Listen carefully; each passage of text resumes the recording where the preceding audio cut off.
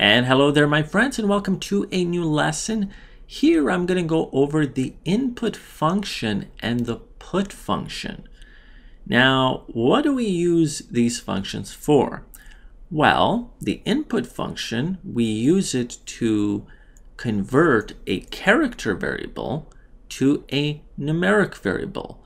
And the put function, we do the opposite. We take a numeric variable and we convert it to a character variable. Now, one of the reasons why we want to do these conversions is, well, if we have a character variable like we have here, so we have sale, it's a character variable because of the dollar sign that you see here. You guys know that by now. Well, if we want to do actual calculations, well, we can't do calculations and statistical analysis on a character variable, right? It, it doesn't really make sense. You can't do, do that on a character variable. So that's the reason that we would have to convert it. Now, another, another thing that I would mention is don't get confused between the input statement, which is right here, and we're very much used to that input statement by now, and the input function, which is right here. So just to make sure there's no confusion about the input statement, and now we're here talking about the input function. So let's go through here this example that I've uh, put up for the input function. Notice here we've got our variable sale. We've set it to character variable. And notice this 9 and the dot. Now the reason that's there is that I've extended the length of this character variable to 9 because if we take a look here at this data in under data lines, so it has a 6 comma 515 comma 353. And if we count it, it's 1, 2, 3, 4, 5, 6, 7, 8, 9. It takes up 9 spaces. So the default is actually 8. So if I just took this away, and then I ran the program, which you would of course see is that there's actually one number missing. Okay? because our length hasn't been adjusted and we talked about length before. So you see it ends actually at 3, 5. It doesn't include this 3. So that is why I added 9 dot and that means that I want the length to actually be 9. The default is 8 so I'm adjusting it because my number here or my character variable I should say uh, is just slightly bigger. And you see when I make this adjustment, well now there it is. It's extended it to a 9 length and everything shows up properly the way we want it. So if we take a look at the next line, what I've done is I've created a variable. And this variable is going to represent the, num the conversion to that numeric variable. So that's why I called it num sale. Okay, and then we have an equal sign, and then it's the function input that we're talking about here.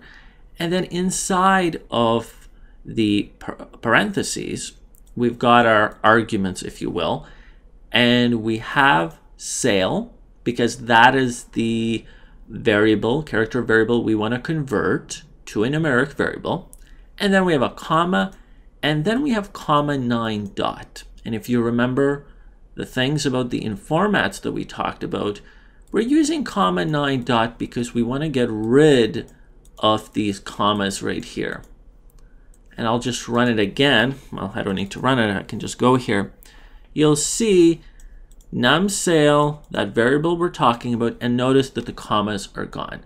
So here's another uh, place where we utilize an informat when we want to get rid of commas in this case right now. But the thing is, we've used the input function, uh, and let's now see well, did it actually make that conversion? Did it convert our character uh, sale variable to a numeric? So the way we would check that, remember proc contents? So you can type in proc contents, data equals input func or funcs, however you want to pronounce it, that's fine by me, and run. And this can confirm for you. So now we have the proc contents. And notice down here, all the way down here, where I'm highlighting, you have sale and it says type char, so character variable of length 9. And this new variable that we made, num sale, where we use the input function to convert, uh, now it says num. So now it's a numeric variable. So now if you wanted to do, uh, of course, any type of uh, statistical analysis, you would now be able to do it where prior you would not be able to do it. So perfect. Well, okay, now you're one minute into the future or so. I didn't want to waste too much of your time, so I made the changes and I paused the video recording so I can just make the changes fairly quickly.